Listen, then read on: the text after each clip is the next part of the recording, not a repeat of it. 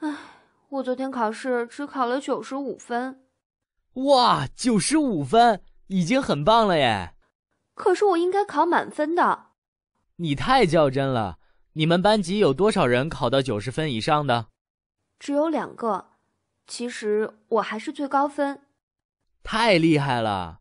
希望下次努力考个满分。祝你成功。不过还是那句话，别太较真。你已经做得很好了。我和自己较真是在往好的方向发展，所以你不用担心。好吧，加油加油，较真的同学。